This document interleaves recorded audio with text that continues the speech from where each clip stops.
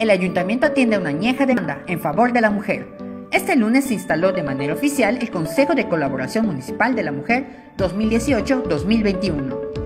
Frente a las asociaciones civiles, el alcalde de Mérida, Renan Barrera, enfatizó el compromiso que mantiene el Ayuntamiento de Mérida con las mujeres, a quienes reconoció como principales pilares de la sociedad yucateca. Y luego a fortalecer el instituto, a pesar de la falta de recursos, a pesar de la crisis que tenía esa administración, logramos salir adelante. Lo más importante, fortalecer mucho el papel del instituto frente a los retos que había en ese momento. El primer edil recordó el gran avance que han tenido las mujeres en el estado y en la capital yucateca, con integraciones de espacios en pro de las mujeres.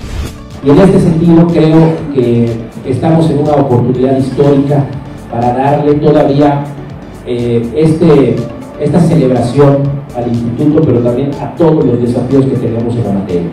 Creo que los discursos autocomplacientes no caben cuando sabemos que estamos en una circunstancia que requiere poner todo nuestro esfuerzo. Y yo... Reportó para Eclipse Televisión, Kevin Castillo. Eclipse, Televisión Digital.